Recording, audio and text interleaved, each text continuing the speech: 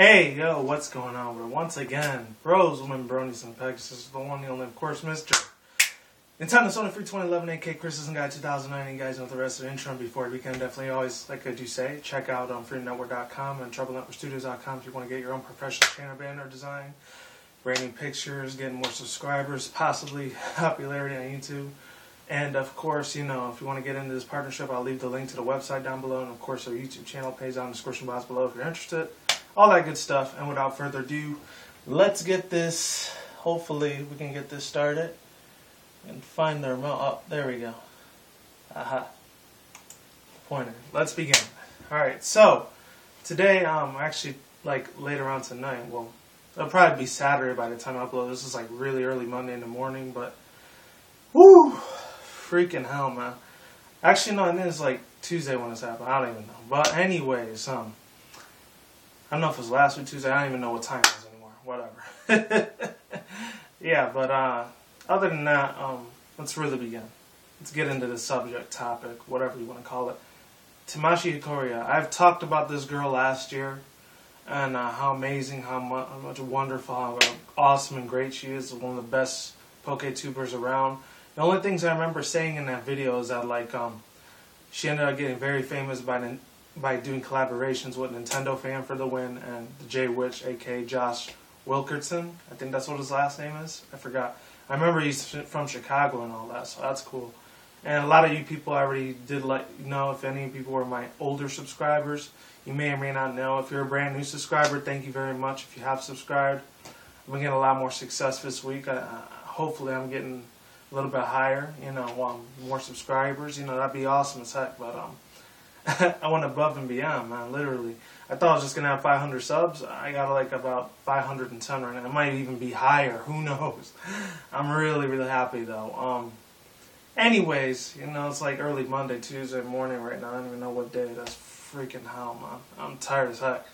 A little bit tired. You guys can't see, but I drank a lot of Monster Rocks. I'm starting to crash down a little bit. So that after effect, though, you know, shoot, freaking hell. Um, all right, so yeah, um, she actually ended up announcing, unfortunately, uh, her Twitter account ended up getting hacked, and this is a trend I'm not just seeing on with like, not just YouTube or PokeTubers, just with big giant people, famous people, celebrities, no matter what they are even whether they're famous on YouTube or they're just like real life actors or actresses that got famous and everything like that. Like um, people's photos that got hacked, like the whole fappening thing that happened earlier this year. You know, um, not gonna get into that or nothing, but um, I feel really bad for the girl. You know, like let's get back to Tamashii. Um, it, it's pretty funny because she actually used to live out here in Vegas, which is insane, man. Like, but this is before she got famous. Before like I even knew who she was. You know who knows? Like, um, if I would have went through the same high school with her, that would have been awesome as heck. Literally, if I would have got to know who she was,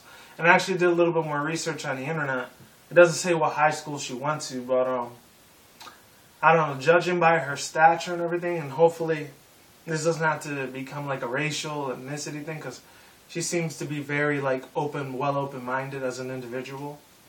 Um, I remember these two very, very extremely fancy, high rich like suburb area like classes. Like if she would have went to high school here, she probably would have went to either like I remember the two it was Palo Verde and then this other one. I think it was Bishop Gorman, and then Arborview was a third one. So she might have went to those very extremely expensive like suburb high schools, you know? Because the one I went to was like half suburb, but it was starting to get real ghetto.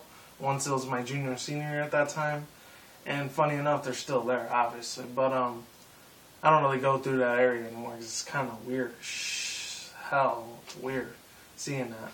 But anyways, um, yeah. Without further ado on that, like, um, let me tell you how I feel about her a little bit now. Um, I don't negatively towards like I don't have any negative feelings towards her. I will say this though. Hopefully it's not extremely offensive and I'm not trying to go into conspiracy theory like um territory here because I know a lot about that conspiracy theory stuff and I've talked about it long, long time ago on this channel. I used to talk about a lot of my Criticism Guy 2009 channel. I don't do it over there anymore, but I used to. And of course, um, a lot of people already know what conspiracy theory might be UFO stuff or the Freemasonists, Illuminati, etc., etc., yada, yada, yada, yada, yada. Um, even though a lot of it's used as a joke, it is very dead serious stuff. You do not want to mess with, man. I mean, I'm not saying that I mess with myself. I just research all of that stuff, you know. But anyways, um, getting back to the matter at hand, I feel like she would have been like some kind of Britney Spears girl, like MK Ultra or something like that. Which, hopefully, no offense to the Britney Spears fans. Is speaking of which, as funny as hell as that is, and this has nothing to do with Tamashii, but um, out here in Vegas, she actually, I think it was last year or the year before. I think it was pretty sure it was last year though, if memory serves correctly. That she actually like has her own show now. I think it's either like the Luxor, MGM Grand, or um, oh, what was the other one? Treasure Island. I think it's one of those three big hotels. So if you ever come out here to Las Vegas, hey, and if you're a Britney Spears fan, go check her out. I don't know. I've never been a fan of that girl. Uh, to be honest, extremely as much as I would love to cuss the freaking hell out of that chick. Um, actually found out about her being MK Ultra and all that stuff, and I'm not gonna get more into deep into that. Just Google it, Bing it, go on Yahoo, whatever other search engine that's out there. I'm not gonna get into that because I'm gonna start becoming extremely negative. So um, it's already starting to feel that taking the effect of negativism. So I'm gonna get that the hell out of me right now. But anyways, let's get us some positive vibes now. Um, the good news was, you know, she ended up um, raising a lot of money, like with the charities and all that, with these video game like charities that are going on and all that. Probably through Twitch, because let's face it, Twitch is pretty much on top of the world when it comes to like donations and charities. Like the three big main games I'll probably say in there is World of Warcraft, League of Legends, which I like way way more. I never really gave a crap about World of Warcraft, but for some reason, League of Legends just pulls me in, man. Literally, in a good way. I love it.